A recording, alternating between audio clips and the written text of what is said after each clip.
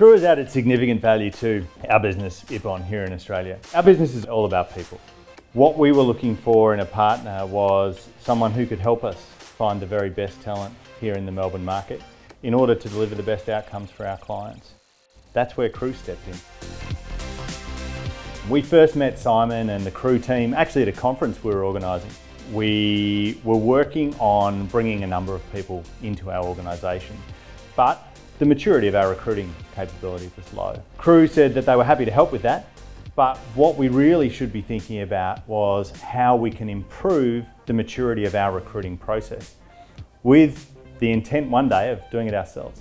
They came in, they helped us with our tactical requirement, but they also help us set up the strategy for the future.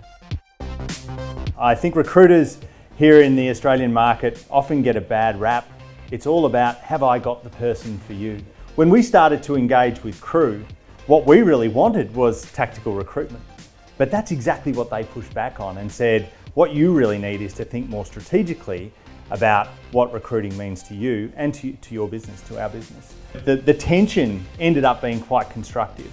They came through and we found some excellent people in the short term, but what we've been able to do is mature our processes and practices over time, which is setting us up well for the future. When we're looking for partners at Ippon, we're looking for organisations that we can trust. What we've found in Crew is exactly that. We've found that what they give us is what it says on the box. And what that has ena enabled us to do is to not put so much time and attention into that recruiting effort right now because we know that Crew can deliver. And then as we develop our own processes and practices and maturity over time, we'll pick that up and see where we go.